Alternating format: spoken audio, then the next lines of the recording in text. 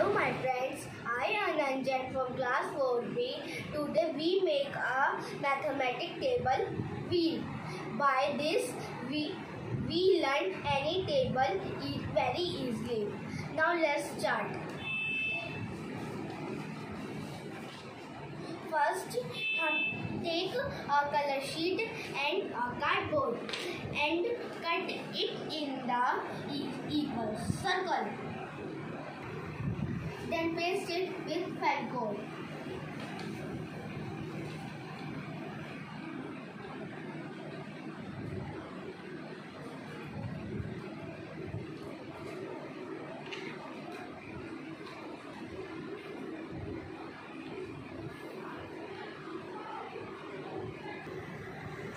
Like that. Take a second sheet. Cut the second sheet like this अब हम इस circle को ten part में डिवाइड करेंगे।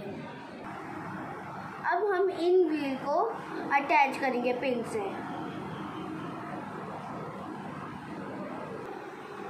Now my wheel is ready and write down the fourteen table write down the numbers like that four one jar four 14 table is ready. 14 ones are 14. 14 twos are 28. 14 twos are 42. 14 14 fours are 56. 14 fives are 70. 14 six are 84.